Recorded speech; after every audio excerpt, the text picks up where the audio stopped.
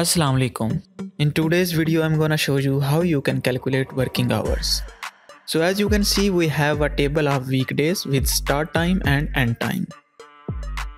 First step is to format the cells where your start and end time exist. Select these cells, go to format, select time format and click OK.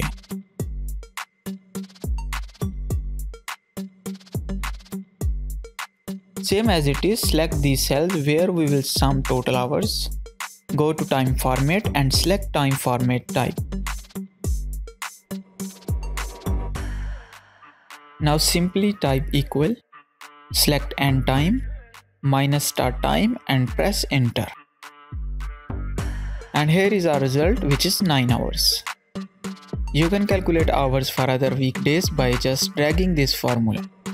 To sum total hours for this week, just use the combination of control and equal. And here is total number of hours for this week. I hope you will find this video useful. If really it is, do not forget to subscribe our channel. See you in next video. Allah Hafiz.